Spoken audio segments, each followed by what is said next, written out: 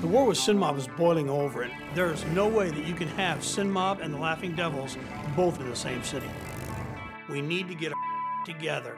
It's essential that we get officers elected so that we can focus on this war and take care of Sin Mob. The Laffing Devils will host elections in 36 hours. To seize the press spot, Danny Boy needs votes. It's a majority vote, which is a good thing because I know there's some guys that will not leave Sandman's side. I need to work on getting a coalition together so that I can be the P.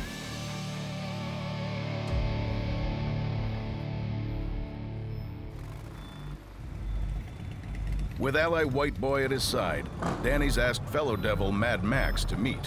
What's going on? What you guys doing? Getting Max on my side is important.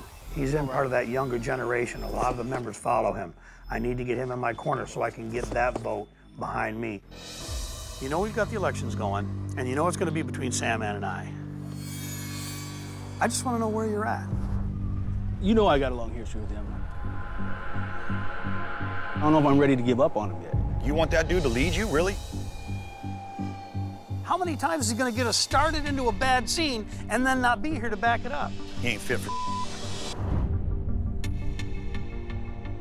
I see it, man. I'm not blind to it. How about this?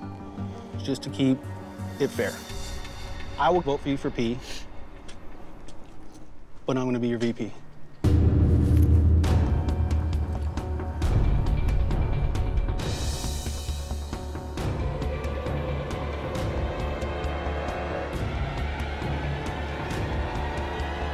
All right.